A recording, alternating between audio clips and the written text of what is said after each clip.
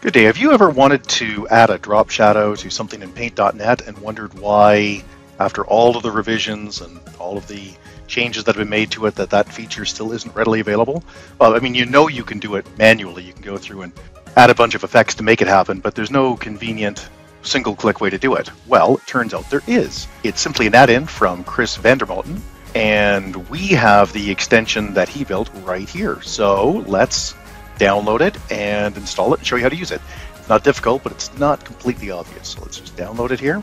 All right. All right, so before you unzip it, just right click on it, select properties, and select unblock. And then just, I just use my right, you can you can unzip it any way you want. I just right click and drag, and then uh, you can extract, uh, let's just extract it. We'll extract using the Windows extractor. Badingo, there it is, and then you run the installer. And you'll see it comes up with drop shadows, duotones, uh, monochromes, blurs, color accent, fade accent, gradient, color, you know, uh, grid lines, and uh, object lines. So a whole bunch of really cool little features. So let's click install.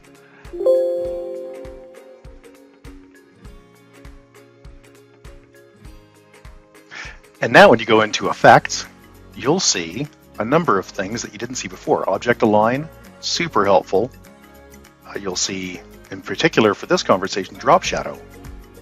And if you look through, you'll see a few other of these little icons with the puzzle pieces.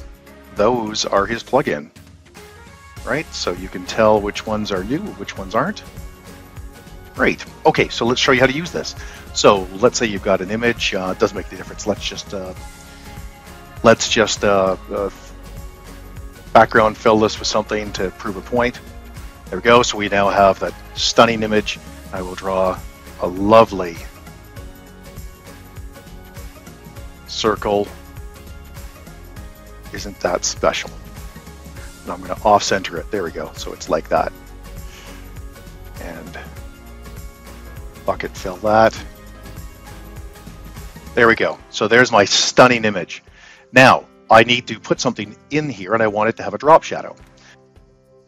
So here's an article we wrote on the icons for Android. It's basically the master list of icons. Doesn't make any difference uh, what you choose. In fact, let's just take a screen grab here.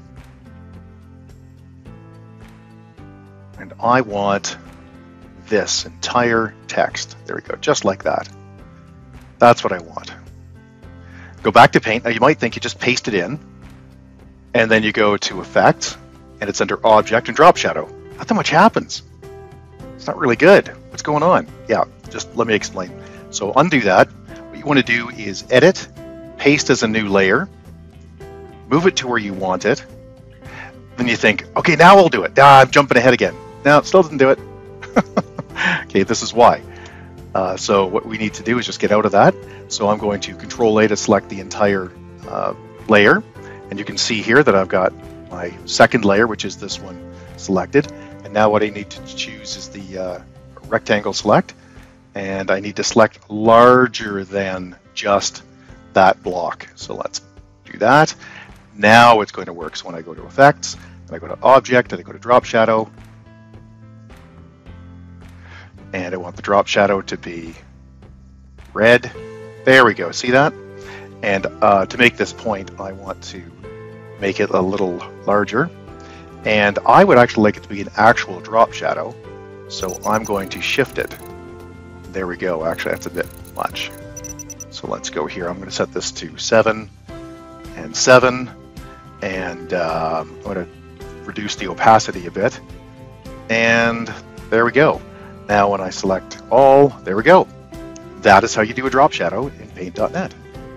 Okay, so there are two more things to uh, go over quite quickly here. The first is that it remembers that setting that you just went through, so you don't have to rejig it every time. So let's go back here. We'll choose a different icon. I'll just take the snipping tool and grab, it, it doesn't make any difference, so let's choose the SDI card. SD card icon, there we go. And uh, let's go back to Paint. Okay, now you do the same thing. You don't just paste, you paste in a new layer, right? Then move it to where you'd like it to be. Uh, and then what you do is grab the rectangle select, select larger than that area, making sure that you're on your new layer, as you can see I am here, and then go to Effects, Object, and it remembers the last settings. Isn't that nice? Now, if you wanted to uninstall it for some reason, you'll find that it is not in your apps and programs. The way to uninstall it is to go through the installer again and just deselect the features you don't care about or that you don't want. If you, the unlikely event something was causing you problems, you just deselect them.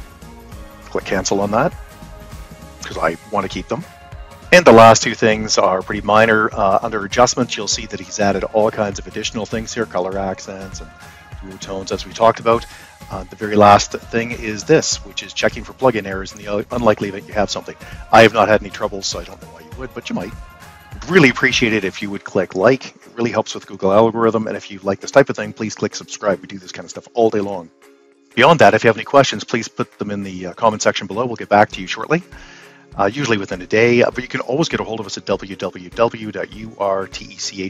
That's urtech.ca. And that's that. Have a great day. Thanks. Bye bye.